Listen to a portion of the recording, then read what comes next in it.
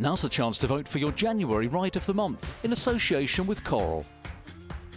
Vote A for Michael Nolan's ultra-patient effort on Encore at Plumpton. Nolan kept his mount at the back of the pack for most of the race. Encore still travelling okay in the hands of Micheal Nolan. Maybe he thinks they've gone off too quick. He may be right. Four out, it looked like the pair had a mountain to climb. But Nolan was spot on with the timing of his run. Encore is getting much closer from the rear, going up into third now and a very patient ride. Expertly seeing off his rivals to come home a comfortable winner. This is a terrific ride. Encore is safely over. He must have been 20 lengths behind with three fences to jump. Micheal Nolan, he thought they'd gone too quickly and he was darn right. Encore goes on to win. Vote B for Sean Bowen's persevering ride on Best Triton at Ffos Las.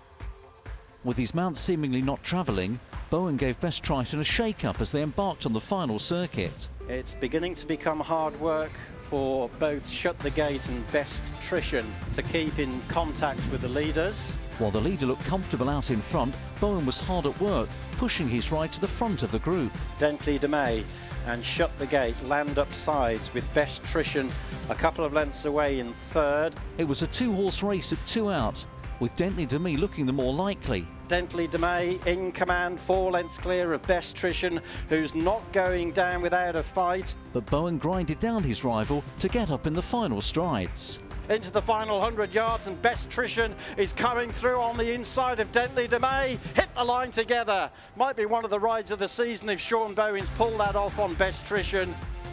Vote C for Richard Patrick's remarkable John Wayne style victory on Face Akay Voudra at Hereford. The duo sat comfortably in midfield for the two-mile mares novices hurdle.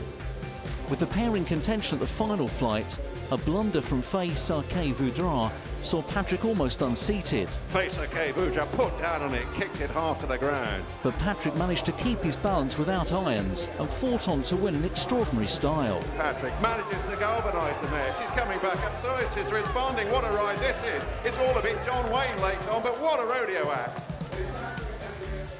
Vote D for Billy Loughnane's excellent ride on Sapphire Seas at Wolverhampton. The 16-year-old rider was in fine form and didn't disappoint on his first ride in Godolphin Blue. It was another Godolphin filly, Mountain Song, who was out in front in the closing stages. Mountain Song is sent for the line now. Moves down the straight, leading by two.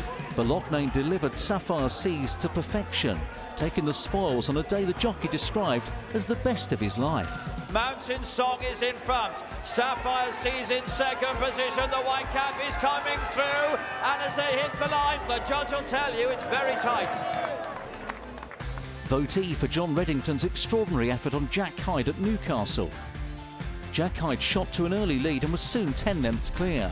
So here they come past the stands for the first time, and Jack Hyde is taking quite a hold. There was no slowing up as horse and rider went even further clear.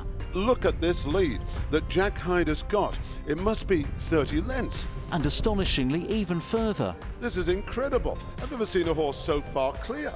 He must be 50 lengths clear. With two furlongs to go, the gap in behind started to close. Now he's getting very tired out there. He's running out of puff and the others are beginning to close the gap. But there was enough left in the tank for Jack Hyde to get the job done in style. This is a marvellous win. A great ride by the owner and jockey, Mr. John Reddington. And Jack Hyde is going to win the opener very impressively indeed. Well done to him. That was some ride. Simply visit attheraces.com slash ride to cast your vote and be in with a chance of winning a £100 funded betting account courtesy of Coral. Voting closes at 11pm on Thursday, the 9th of February.